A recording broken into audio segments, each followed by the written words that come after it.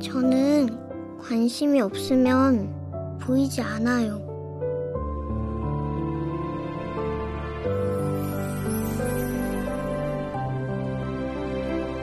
지금 돌아봐 주세요.